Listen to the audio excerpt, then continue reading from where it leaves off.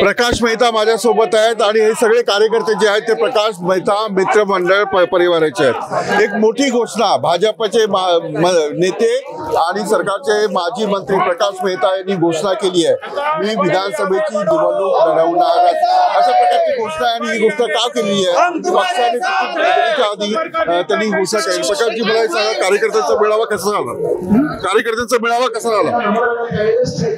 अत्यंत उत्साह.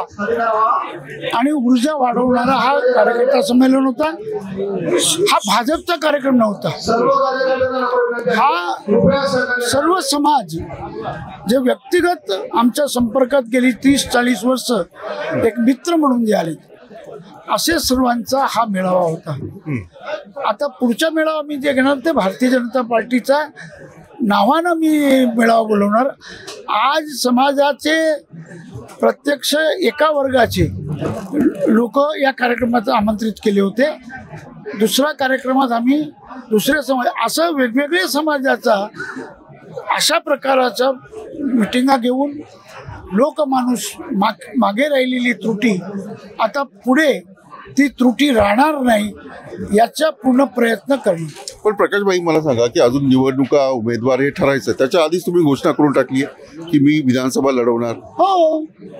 कारण पण ही लोकांना पक्षाकडे घ- घोषणा करायची असते. मग केले. हं. मी केले. जाहीररित्या केली हो हो. पक्षाने पक्षाचं समोरच सांगितलंय की या वर्षी मला विधानसभा निवडणूक लढण्याची गेल्या वेळेला प्रकाश मेहतांचं तिकीट का कापण्यात आलं? परफॉर्मन्स चांगला होता मंत्री होतात तुम्ही. का तुम्हाला हे तिकीट बघा? फार भूतकाळाचं पाच वर्षापूर्वी का कापलं आणि त्याच्या आधी सात वेळेला का दिलं मला तिकीट? या पक्षात ही प्रथा नाही पण गेल्या वेळेला वाईट वाटलं असेल. एवढे कार्यकर्त्याचं आपण आम्ही दुसऱ्या दिवशी उमेदवाराबरोबर काम करायला पण उतरलो. सगळ्या वॉर्डाची कार्यकर्त्यांची बैठक पण घेतली. त्यांच्यावर रथयात्रामध्ये पण गेलो. त्यांच्या कार्यालय उद्घाटनामध्ये पण गेलो. तर ते सहज होतं सगळं.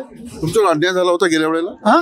अन्याय झाला होता तुमच्या नाही मी असं मानत नाही अन्याय झाला होतो. नाही तर मग पुढच्या पुढे सात वेळेला जे मला मिळालं तेव्हा कोणाला तरी अन्याय झाला असंच म्हणावं लागेल ना? हा. या वेळेला लोकसभेच्या ईशान्य मुंबईचा जो उमेदवार होता त्याचा पराभव का झाला? काय काय चुकलं नियोजन भाजपचं? आमच्या निम- नियोजनमध्ये जे कलेक्टिव्ह रिस्पॉन्सिबिलिटी आणि कम्युनिकेशन्स हे लक्षात आलं होतं की कुठेतरी आपण अडकतोय त्रुटी आहेत आणि ज्या रीतीने एक नेरेटिव्ह तयार झाला त्या नेरेटिव्हचं उत्तर आम्ही समजू शकलो नाही आणि देऊ शकलो नाही. आणि ज्या पद्धतीनं मुस्लिम समाजाचं मतदान एका बाजूला झालं त्याचप्रमाणे दलित बांधवांचं मतदान पण एका साईडला राहिल्यामुळे मानखुर्दमध्ये आम्हाला नेहमी साधारणतः साठ सत्तर हजारची डेफिसिट असायची. ती डेफिसिट या वेळेला पंच्याऐंशी नव्वद हजारापर्यंत गेली. आणि घाटकोपर पश्चिमला तीच लोकवस्ती दलित समाज आणि मुस्लिम समाजांचा मतदानाचा फॅक्टर बघून चाळीस हजार नेहमी लीड मिळणार त्याच्याऐवजी चौदा हजारची डेफिशिट आम्हाला मिळाली. आम्ही समजत होतो तिथे चाळीस हजार आम्हाला लीड मिळणार.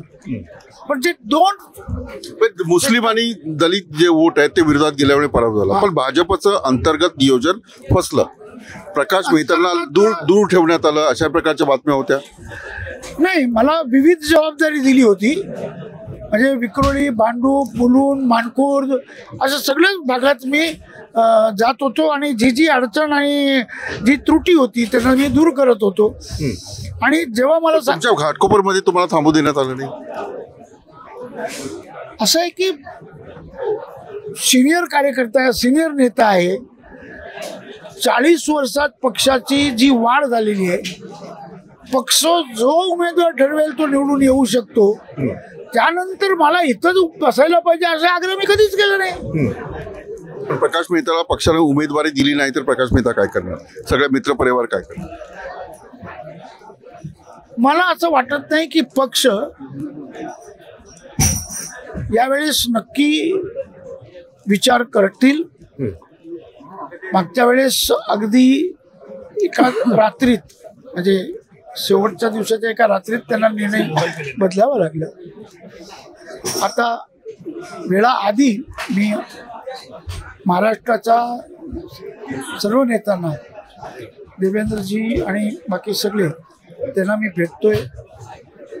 माझ्या इथे खासदार होते ते आता खासदारकीमध्ये पडले ते किरीट सोमय्या. यांना सुद्धा मी सांगितलं की मी तयारी करतोय एक बांधणी करतोय. पक्षाच्या कार्यकर्त्यांना मागे जी आपल्याला हार मिळाली आहे एरियामध्ये तर त्याच्यामधून बाहेर काढून कुठेतरी आपण भरारी घेतली पाहिजे. आणि म्हणून कार्यकर्ता संमेलन पक्षाने उमेदवारी नाही दिली तर अपक्ष लढवणार बघा असं आहे की पक्षाने उमेदवारी दिली नाही तर तरचा प्रश्न आहे. तेव्हाचा प्रश्न आहे. पण तेव्हाच्या प्रश्नावर तुम्ही? तुम्ही काय करता? आधी मला सात वेळा दिली हे प्रश्न आधी काय नाही विचारता की तुम्हाला सात सात एक वेळा वेळा कापण्यात आली. ज्या मतदारसंघात प्रकाश मेहता नेहमी निवडून येतात त्यावेळेला तिकीट कापण्यात आलं. अरे बाबा त्यावेळेला वाईट वाटणं साहजिक आहे. प्रकाश मेहता यांनी आणि त्यांच्या सर्व कार्यकर्त्यांनी घाटकोपरमध्ये इतकं काम केलंय की कुठूनही कोणाला आणून उभा केला तर तो निवडून येईल पण आता मला परत असं वाटतंय की मी उभा राहावं तिकीट मिळेल यावेळेला असं वाटतंय मला असं वाटतंय चला खूप खूप धन्यवाद प्रकाश मेहता त्यांनी घोषणा केली.